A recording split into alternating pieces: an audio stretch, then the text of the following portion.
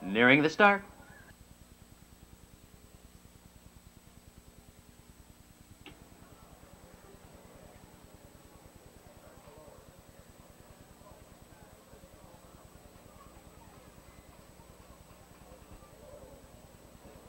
There go the Pacers. From between horses, Blue Ribbon winner away quickly for the lead, along with Master Sean. From the outside, Prince Viking drives for position. Along the inside, Cam's Lucky.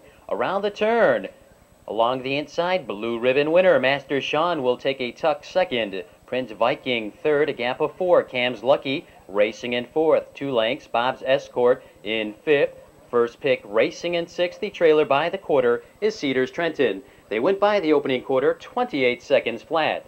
And your leader by the stands for the first time is Blue Ribbon winner by two. Master Sean right there in second. In third, Prince Viking, the first to pull. Cam's Lucky now drives to the outside fourth. Bob's Escort moves up with cover of fifth. First pick is on the move in sixth. Along the rail in seventh, your trailer to the half is Cedars Trenton. Around the turn, approaching the half, it's Blue Ribbon winner a length. They went by the half 58 seconds flat.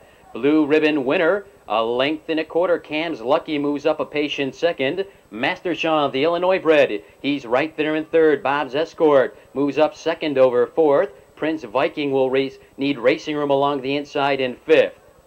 Down the backside, it's Blue Ribbon winner a length and a half. Bob's Escort now charging three wide to challenge the leader second. That's Bob's Escort on the outside now to put ahead in front. Blue Ribbon winner is game along the inside. Master Sean will need racing room for the stretch drive. Prince Viking moves up, dropping back sharply. Cam's Lucky. Around the turn. They're in the stretch, and now it's Bob's Escort. A length. Blue Ribbon winner fights back second. Master Sean moves up third. Prince Viking to the outside. Down the stretch, Bob's Escort in front by two. Prince Viking is charging between horses. Master Sean. Bob's Escort, Prince Viking.